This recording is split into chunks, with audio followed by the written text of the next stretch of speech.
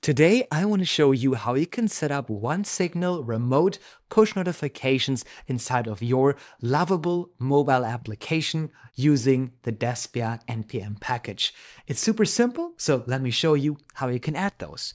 So first of all, on lovable.despia.com, we have the documentation with the example lovable prompt and how to implement this. So we'll need to reference that a little bit later.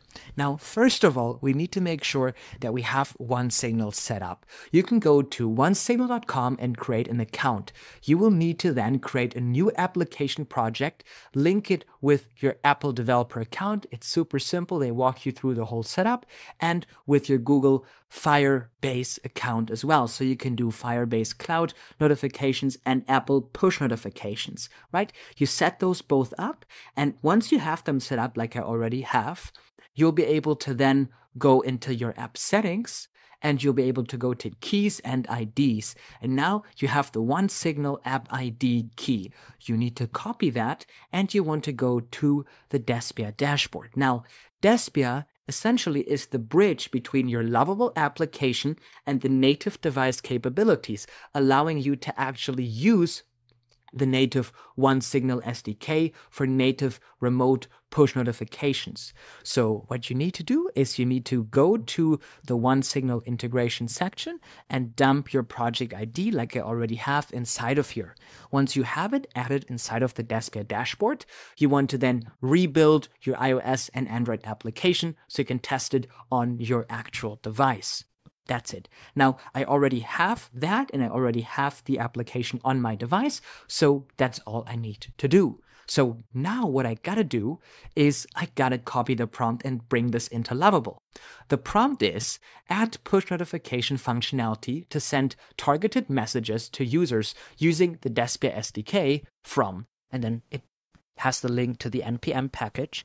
First, install the package, npm install Despia native, then import it, import Despia from Despia native. After that, simply access the OneSignal player ID via Despia.OneSignal player ID. Now, here are the important setup requirements. Create a one OneSignal account and configure your app. We already have done that. Set up iOS, Apple push key, and Android Firebase configuration in one OneSignal. We already have that. And then the important thing is you need to make sure that when you set those things up, that you use native iOS and native Android, like I showed you before, right? You need to click on the native icons um, because you can select React Native, you can select other frameworks. Despia actually is a native app, so you have to select that you're using the native system UI. Perfect. Or OS. Perfect. And then we're just going to add this to the project, which we already have. Now, it does require a backend because OneSignal allows you to do remote push notifications.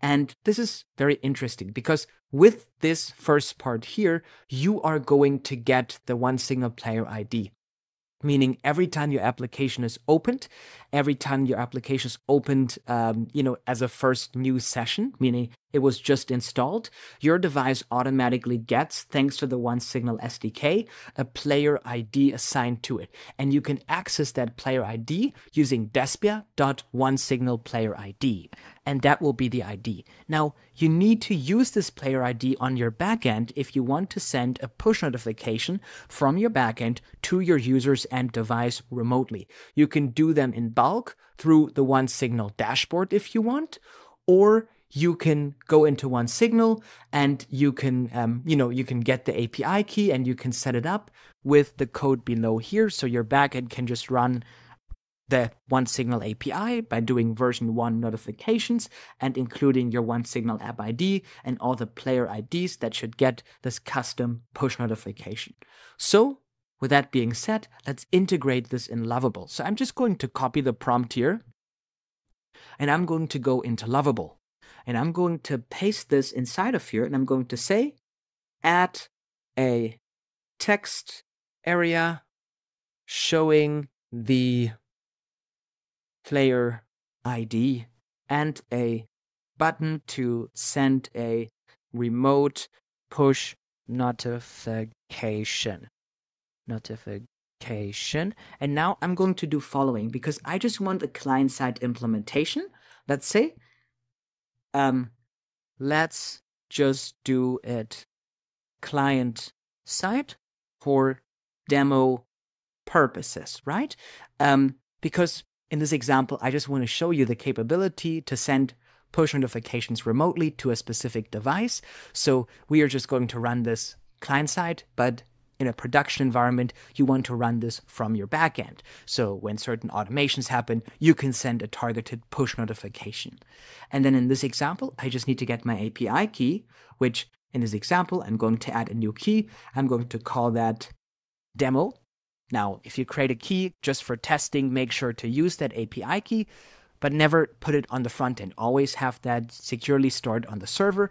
But in this example, I just wanted to do it on the front end for demo purposes.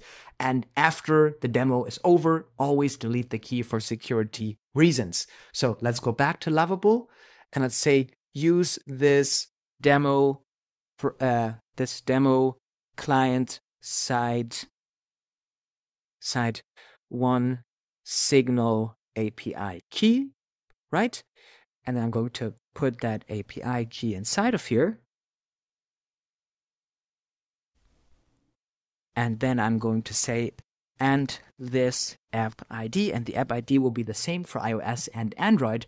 So if you go to OneSignal, you will see your app ID inside of here, and that should be the same ID that you have right inside of here in the Despia editor, just like this. So now I'm just going to put this into my lovable prompt. And now I'm going to send that to Lovable. And now it's going to make this work inside of our application. So now a few things to note that you want to make sure that are correctly set up is you want to make sure that your OneSignal account is active and that you have set up all the other stuff. But if you came this far to get the app ID, it should be all fine.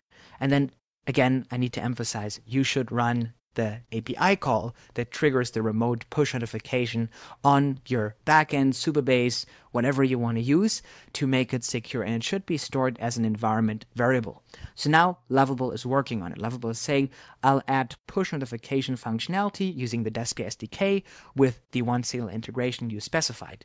Added push notification functionality with Despia SDK integration displaying OneSignal player ID. So let's take a look at the code um, the code is now importing Despia from Despia native. This looks very good to me. Perfect. And then let's take a look at that. We are now getting the player ID from Despia dot OneSignal player ID. That is also correct. And we're setting that. We're setting the player ID, and then we have well, the player the, the push notification, and it will then do the API call, and it should show that inside of here. So that looks good. Let's try publishing this, and then let's also try looking at this application. Okay, it still for some reason has the old application, so let's make sure that we're deploying this correctly. And let's also try refreshing the preview. Okay. Oh, preview is empty for a while. The app encountered an error. Let's show the logs here. Okay, it seems like there was a, a lovable error here, a build error. So let's just have it fix that, and then we'll take a look at that again and then it should fix that and then we'll be able to demo this and test this. Let's actually try the preview here. Oh yeah, it does look like the preview is working. So, okay, that seems fine to me. Maybe that was just something temporarily, but we'll just lovable configure everything and then we'll be able to test this on our application. And the nice thing is when we click on update here with Despia, we have updates over the air, meaning every change that you do inside of Lovable will be immediately updated on your live application after you click on update it. That's why you always want to do it on the published version and not on the preview one, right? So you want to link this version with Despia. So you don't have to wait 10 days for app approval to review critical changes. You can fix important things immediately the moment you figure out that there's something going wrong, which is very important when you're working with AI assisted development. And that is one of the great features that Despia gives you access to the fact that you can just go in there and update something just like this, and it is updated on all your users and devices without any service interruption on your side by waiting 10 days for Apple to finally pick up their pace. But it seems like this is already working um, so let's update this and then let's see if the live site works. And if the live site works, we'll give it an attempt to see if it works in the application. Perfect. So I have this demo site open inside of here. So let's try opening my native device and let's try opening the native application here. Just like that. Let's wait till that starts. And as you can see, in this text field here, we have the OneSignal player ID inside of here. So let's try if this actually works. Let's click on send test notification. As you can see, a test notification should have been sent. So let's see, is there a push notification coming? And as you can see, there is a push notification coming, just like this. So we have set up push notifications inside of our application just like this. So I can close this and I can send another push notification. And because I'm sharing my screen, obviously, um, I, I won't see them pop up immediately because I'm in a screen sharing here. But as you can see, I can click this a few times, right? And I will get the push notifications sent to my device. Now, always make sure to run it on the back end. That is very critical but the cool thing is, when there's an automation, when there's a webhook, when some event happens on the backend, even while your application is closed, you'll be able to send a push notification to the device. The device will be able to receive it even if it is offline. And then when the user is online, they will be able to see the push notification. So this is a great way to alert and notify your users using native application features thanks to the OneSignal SDK that Despia exposes super simple inside of your Lovable application. I can't wait to see you in all the other exciting videos that we're going to make on how to connect Despia with Lovable to add amazing native functionalities with real native SDKs inside of your Lovable applications and getting them into the App Store and Google Play Store. I'm super excited for it and see you in the next video. Take care and thank you so much for your interest in Despia.